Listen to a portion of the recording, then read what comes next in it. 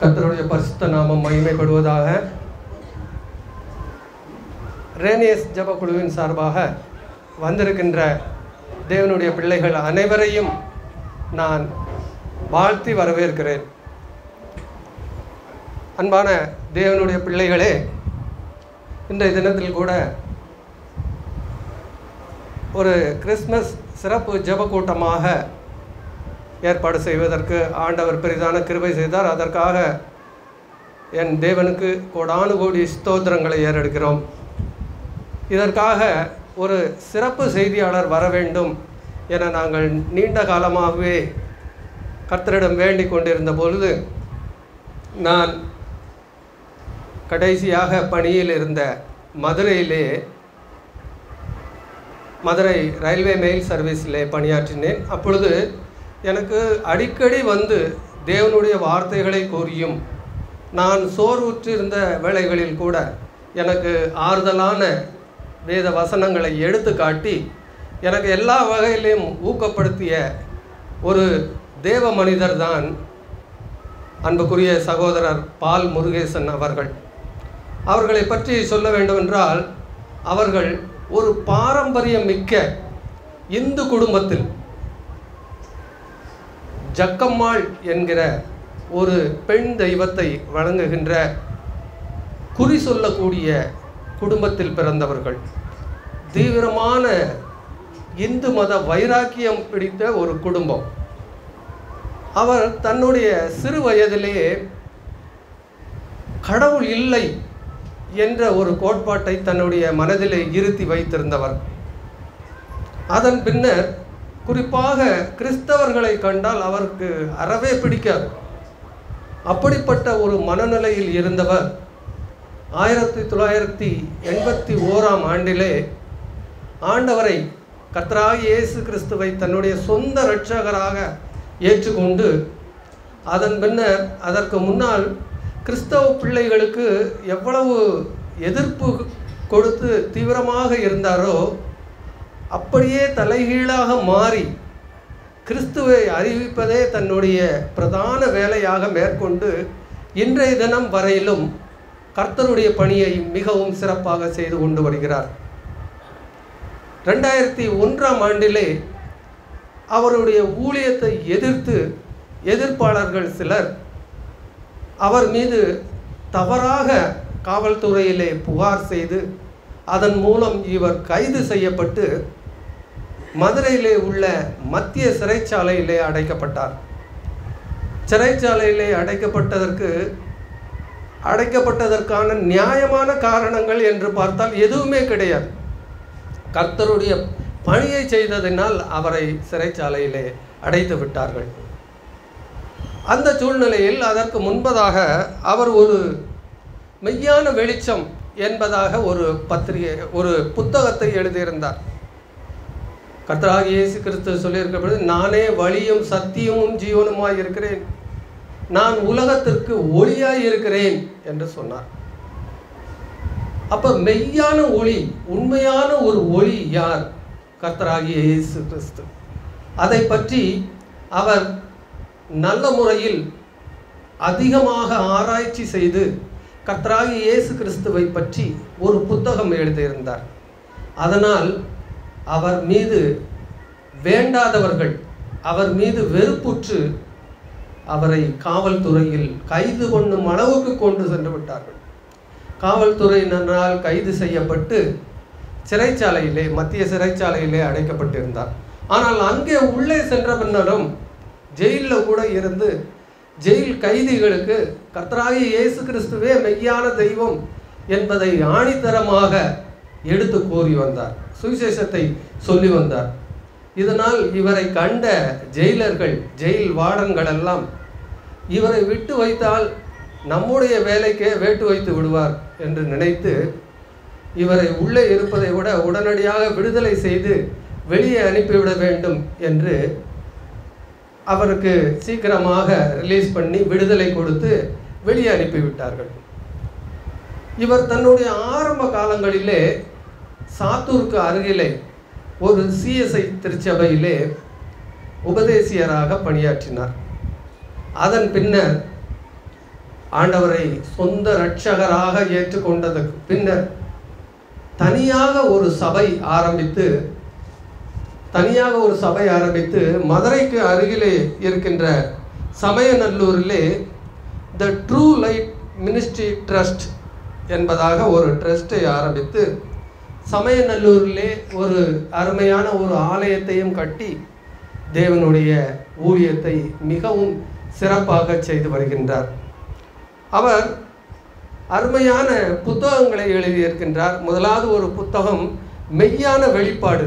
இந்த மெய்யான வெளிப்பாடு என்ன என்று கேட்பீர்கள் என்றால் வெளிப்படுத்தின விசேஷத்தை பற்றி முழுமையான ஒரு விளக்கம்.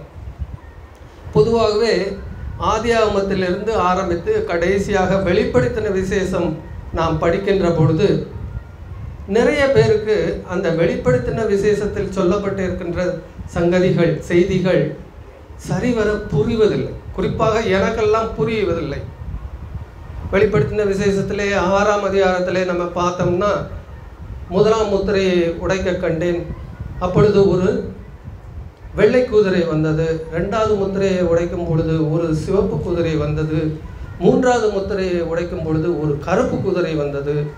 நாலாவது முத்திரையை உடைக்கும் பொழுது ஒரு மங்கலான குதிரை வந்தது என்று நிறைய சம்பவங்கள் வெளிப்படுத்தின விசேஷத்திலே சொல்லப்பட்டிருக்கிறது. ஆனால் அதற்கு உண்மையான விளக்கங்கள் நமக்கு தெரியும் என்றால் நிறைய பேருக்கு புரிவதில்லை. குறிப்பாக எனக்கு சுத்தமாகவே புரிவதில்லை. அதற்காக அவர் வெளிப்படுத்தின விசேஷத்திலே விசேஷத்தை பற்றி முதலாவது அதிகாரத்திலிருந்து கடைசி அதிகாரம் வரையிலும் மிக தெளிவாக மெய்யான வெளிப்பாடு என்று இரண்டு புத்தகங்கள் வால்யூம் ஒன் வால்யூம் டூ என்று இரண்டு புத்தகங்களை எழுதியுள்ளார். இதனை நாம் படித்து பார்த்தோம் என்றால் ஒரு சின்ன குழந்தைக்கு கூட புரிகின்ற வரையில் மிகவும் அருமையாக எழுதியுள்ளார்கள். அதே போல எபிரேயருக்கு எழுதின நிருபத்தை பற்றி அந்த நிருபத்திற்கு சரியான விளக்கத்தை கொடுத்து ஒரு புத்தகம் எழுதியுள்ளார்கள். அப்புறம் புதிய ஏற்பாட்டின் வெளிச்சத்தில் பழைய ஏற்பாடு புதிய ஏற்பாட்டின் வெளிச்சத்தில் பழைய ஏற்பாடு. பழைய ஏற்பாட்டிலே கர்த்தராகிய இயேசு கிறிஸ்துவை பற்றி சொல்லி இருக்கின்ற எல்லா சம்பவங்களையும் மிக அருமையாக தொகுத்தி வழங்கியுள்ளார். அருமை சகோதரன் பால் முருகேசன் அவர்கள். அவர்கள் இந்த கூட்டத்திற்கு வந்திருப்பது உண்மையிலே நமக்கு மிகுந்த சந்தோஷத்தை கொடுக்கிறது. அவர்களை வாழ்த்தி இந்த ஒரு பொன்னாடையை போர்த்தும்படி நம்முடைய ஜபக்கூட்டத்தின் மூத்த சகோதரன் மதிப்பிற்குரிய retired station master Thiru Hariharan அவர்களை இந்த பொன்னாடையை போர்த்தும்படி அன்புடன் கேட்டுக்கொள்கிறேன். சார் வாங்க இல்லை இங்கே போத்துனீங்க சார் இங்கே வாங்க. இங்கே வாங்க. இங்கே வாங்க.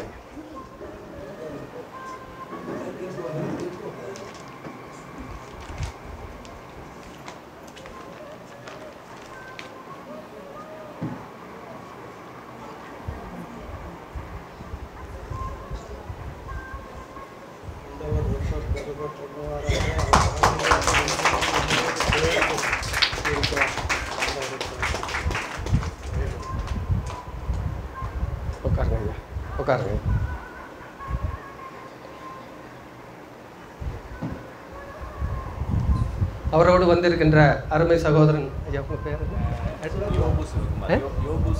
யோபு சிவகுமார் அவர்களையும் ரேனியஸ் ஜபக்குழுவின் சார்பாக அன்புடன் வரவேற்றுக் கொள்வதில் பெரும் மகிழ்ச்சி அடைகிறேன். அதுக்கப்புறம் இந்த கோயில்பட்டி கிராமத்திலே அருமையாக ஊழியம் செய்து வருகின்ற இரண்டு சகோதரர்களை நான் இங்கே அறிமுகப்படுத்தி வைக்க விரும்புகிறேன்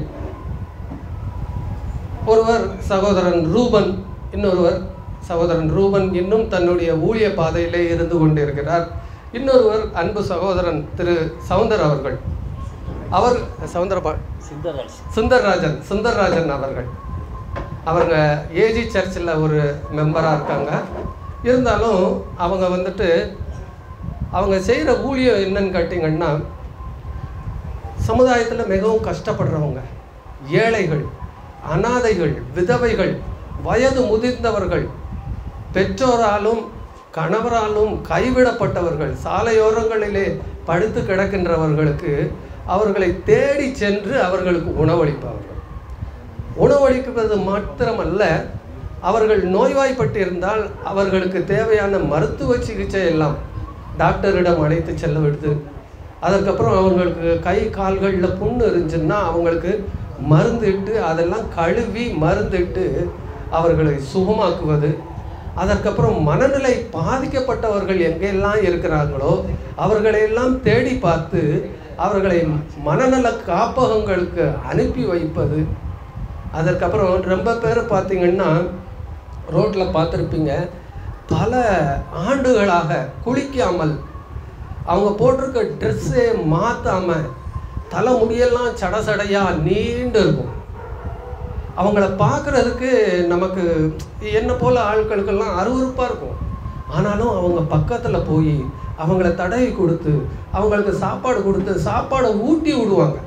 ஊட்டி விடுவாங்க. ரொம்ப வயதான பாட்டி அம்மாவெல்லாம் போய் அவங்க பக்கத்தில் உட்காந்து அவங்களுக்கு சாப்பாடை ஊட்டி விடுவாங்க. ஊட்டி விட்டு அவங்க சாப்பிட்டதுக்கப்புறம் அதுக்கப்புறம் அவங்கள படுக்க வச்சு அவங்களுக்கு தட்டி கொடுத்துட்டு வருவாங்க. இன்னொரு சகோதரன் இன்னும் ஊழியத்தில் இருக்கிறாரு. என் சகோதரன் செய்கின்ற ஊழியத்தை மாத்திரம் நான் சொல்லி கொண்டு இருக்கிறேன் அவங்க அந்த அம்மாவை பார்த்தீங்கன்னா முடிஞ்சால் யாராவது பாருங்கள் ரயில்வே ஸ்டேஷன் பக்கத்தில் இருக்கின்ற அந்த மேம்பாலத்துக்கு கீழே ஒரு அம்மா இருக்காங்க ஆவுடை தங்கம்னு ஒரு அம்மா. அந்த அம்மாவுக்கு அவங்க பெற்றோர் கண்டிப்பாக இருக்க மாட்டாங்க. ஏன்னா இந்த அம்மாவுக்கு எண்பது வயசு ஆயிடுச்சுது கணவரோ பிள்ளைகளோ யாருமே இல்லை. அவங்களுக்கு வந்துட்டு அவங்களால உட்கார்ந்தபடி நகர்ந்து நகர்ந்து தான் போக முடியும். அவங்களுடைய இயற்கை உபாதைகள் எல்லாம் அப்படியே உட்கார்ந்த இடத்துலையே தான் அப்படி கழிச்சிட்டு இருப்பாங்க.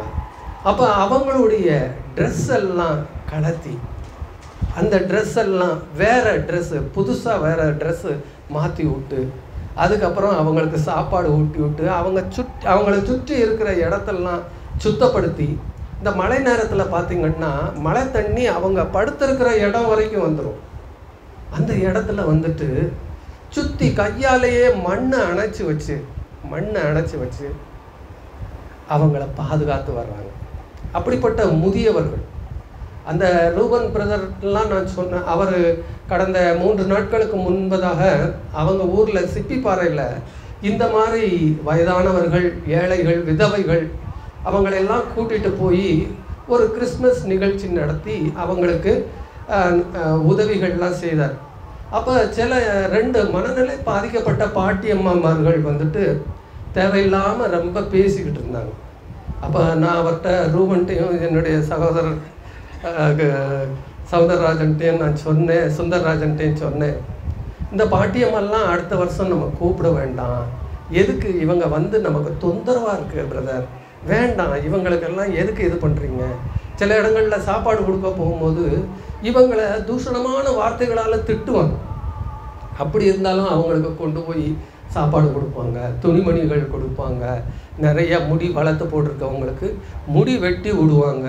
கூட்டிகிட்டு போய் புது பஸ் ஸ்டாண்டில் உள்ள அந்த குளிக்க வைக்கிற பாத்ரூமில் கொண்டு போய் குளிக்க வச்சு அவங்களுக்கு வேறு ட்ரெஸ்ஸு மாற்றி விடுவாங்க.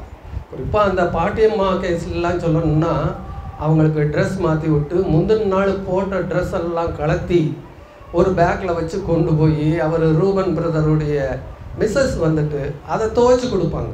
அதை அடுத்த நாள் கொண்டு வந்து அவருக்கு கட்டி விடுவார் இப்படி மிகச்சிறந்த ஊழியத்தை பண்ணிட்டு வர்றார். அப்படி பண்ணிட்டு வரும்போது தான் அவங்க அவங்களுடைய இந்த கனி கொடுக்குற இந்த வாழ்க்கையை பார்த்து அந்த மக்களில் ரொம்ப பேர் வந்துட்டு ஆண்டவரை ஏற்றிருக்காங்க ஆண்டவரை பற்றி தெரிஞ்சுக்கிட்டாங்க. அவங்கள பற்றி சொல்லணுனாலே அந்த பாஸ் அந்த ஃபாதர் அந்த ஃபாதர் வரலையா அப்படின்னு தான் கேட்பாங்க. அப்போ இவங்க கிறிஸ்தவங்க கிறிஸ்தவங்கன்னா நன்மை செய்கிறவங்க அப்படிங்கிற ஒரு முத்திரையை இவங்க இந்த ரெண்டு சகோதரர்களும் அந்த ஏழை எளியவர்களுடைய உள்ளத்தில் பதிச்சிருக்காங்க நான் அவங்ககிட்ட சொன்னேன் இந்த மாதிரி நமக்கு பிரச்சனையை கொடுக்குறவங்கள நம்ம இனிமேல் கூப்பிட வேண்டாம். அப்படிங்கும் போது தான் அவர் எனக்கு ரூபன் சொன்னார். ரூபன் என்ன சொன்னார்னா யோனா தீர்க்கதரிசியின் புஸ்தகத்தில் யோனா வந்துட்டு கர்த்தர் வந்துட்டு அவரை நினைவே பட்டணத்துக்கு அனுப்பியிருப்பார். ஆனால் இவர் வந்துட்டு நினைவே பட்டணத்துக்கு போகாமல் தர்ஷீஷ்க்கு போகிற கப்பலில் ஏறி அங்கே போயிடுவார் அதுக்கப்புறம் அவர் கப்பல்லாம் உடைச்சி அவரை தூக்கி கடலில் போட்டதுக்கப்புறம் அவர் மீனின் வயிற்றுக்குள்ளே போயிட்டு மூணு நாள் மீன் வயிற்றுலேருந்து அதுக்கப்புறம் நாலாவது நாள் மீன் வந்துட்டு கரையில் துப்பிடும் துப்புனதுக்கப்புறம் மூன்று நாள் பிரயாணம் பண்ணி மறுபடியும் நினைவேக்க போகிறார் நினைவேக்க போய் நினைவே மக்கள்லாம் நிறைய பாவங்கள் செஞ்சு கொடிய மகா பாவிகளாக இருக்கிறாங்க. அவங்களுக்கு போய் கர்த்தருடைய செய்தியை அவர் அறிவிக்கும் போது அவங்கள்லாம் உடனே மனம் திருந்துறாங்க. மனம் திருந்தி தன்னுடைய பாவங்களுக்காக ராஜாவிலிருந்து கடைசி மனிதர் வரைக்கும் தங்களுடைய பாவங்களுக்காக மனந்திருந்து அழுது அவங்க க- உபவாசம் இருந்து ஜெபம் பண்ணுறாங்க கர்த்தரிடத்தில் மன்னிப்பு கேட்குறாங்க. அப்போது வந்துட்டு ராஜாவே ஒரு உத்தரவு போடுறாரு. நம்ம நாட்டில் யாருமே தண்ணீரும் அப்பமும் புசிக்காமல் வந்துட்டு புசிக்காமல் வந்துட்டு நம்ம உபவாசம் இருந்துட்டு ஜெபம் பண்ணணும் அப்படி ஜெபம் பண்ணால் கர்த்தர் நம்மளுடைய ஜெபத்தை கேட்பாரு அப்படின்னு. மிருக ஜீவங்கள் கூட வந்துட்டு அவங்க தண்ணீரும் தீவனமும் சாப்பிடாம இருந்தாங்க என்பதாக பைபிளில் வாசிக்கிறோம். ஆனால் நம்ம தீர்க்கதரிசி யோனா வந்துட்டு என்ன நினச்சாரு? இந்த மக்களுக்கு நம்ம செய்ய வேண்டிய சுவிசேஷ ஊழியத்தெல்லாம் செஞ்சு முடிச்சிட்டோம் அப்படின்ட்டு இவர் போய் ஒரு ஆமணக்கு செடி கீழே படுத்துருந்து ஆண்டவர் இந்த மக்கள் எல்லாம் கவிழ்த்து போட போகிறார் ஆண்டவர் இந்த மக்கள் எல்லாம் சோதம் குமரா பட்டணத்தை அழிச்சது மாதிரி வானத்திலிருந்து அக்னியும் கந்தகத்தையும் கொண்டு வந்து அழித்து போட போகிறார் அப்படின்னு எதிர்பார்த்து அவர் வந்துட்டு படுத்திருந்துட்டு எதிர்பார்த்து காத்துக்கிட்டு இருக்கிறார். இந்த பட்டணம் அழிந்து போக போகிறது என்பதாக நினைக்கிறார். ஆனால் வந்துட்டு நடந்தது என்ன தெரியுமா? அந்த மக்களை வந்துட்டு கர்த்தர் காப்பாற்றினார். மாறாக அவர்களை அழித்து போட. அப்போ யோனா வந்துட்டு அவர் என்ன நினைக்கிறாரு? அங்கேன்ட்டு அவர் ஒரு ஆமணக்கு செடியின் கீழே படுத்திருந்தார் இல்லையா? அந்த ஆமணக்கு செடியை அழிப்பதற்கு விஷப்பூச்சிகளை கர்த்தர் அனுப்புகிறார். அந்த ஆமணக்கு செடிகளை அரித்து விட்டது. சூரியனின் தைக்கிற உஷ்ணத்தினால அந்த ஆமணக்கு செடியும் பட்டு போனது. பட்டு போனதுக்கு அப்புறம் யோனா வந்துட்டு யோனா வந்துட்டு ஆண்டவர்கிட்ட கேட்குறாரு. ஆண்டவரே இந்த ஒரு நிமிஷம் இந்த மாதிரி வந்துட்டு நீர் மகா இரக்கமும் உருக்கமும் உள்ள தேவன் என்பது எங்களுக்கு தெரியும். ஆனால் இதை ஏன் முதல்ல செய்யாமல் விட்டீங்க அந்த மக்களை அறிக்காமல் விட்டீரே அப்படின்னு கேட்கும்போது தான் சொல்லுதார். நீ உருவாக்கலை. ஆமணக்கு செடியை நீ உருவாக்கலை. ஆமணக்கு செடியை நீ வளர்க்கலை. அந்த ஆமணக்கு செடி மேலே உனக்கு இவ்வளவு இறக்கம் இருக்குது. நான் உருவாக்கினேன் என்னுடைய சாயலாகவே உருவாக்கினேன் இந்த மனிதர்கள் மேலே எனக்கு எவ்வளவு ஒரு லட்சத்து இருபதனாயிரம் மக்கள் நினைவை பட்டணத்தில் இருந்திருக்காங்க. அந்த மக்கள் மேலே அந்த மக்களை கண்டு நான் பரி பரிதவியாமல் இருப்பேனோ? அப்படின்னு ஆண்டவர் சொல்லியிருக்கார். அதை போல் இந்த சகோதரர் சொன்னாங்க அந்த அவங்களுக்கும் அந்த ஏழை எளிய மக்களுக்கும் கர்த்தருடைய கிருபை கிடைக்க வேண்டும். இந்த வருஷம் இல்லைன்னா அடுத்த வருஷம் மனம் திரும்புவாங்க ஐயா. அவங்க நம்மளை எவ்வளவு திட்டினாலும் பரவாயில்ல. அடுத்த வருஷமும் அவங்கள கூட்டு வருவோம் அப்படின்னு சொன்னாங்க இந்த ரெண்டு சகோதரர்கள். அதனால் அவங்கள கூட்டு நான் கௌரவிப்பதற்காக கூட்டு வந்தேன். பெஞ்சமின்? ஏமா இந்த இந்த பையன் மட்டும்.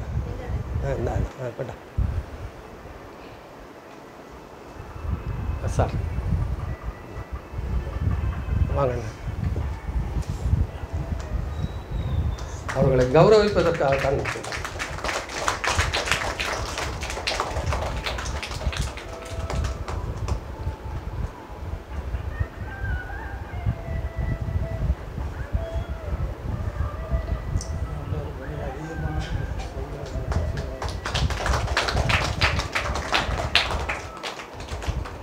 இன்னொரு சகோதரன் வரவில்லை. ரூபன் அவர் தன்னுடைய பணியை முடித்துவிட்டு வருவார். மீண்டும் ஒரு முறை வந்திருக்கின்ற உங்கள் எல்லோரையும் இயேசு கிறிஸ்துவின் நாமத்திலே வாழ்த்தி வரவேற்கிறேன். இப்பொழுது நமது போதகர் ஐயா சிறப்பு செய்தி அளிப்பார்கள். தன்னுடைய சாட்சியை கூறி செய்தி அளிப்பார்கள். சரி.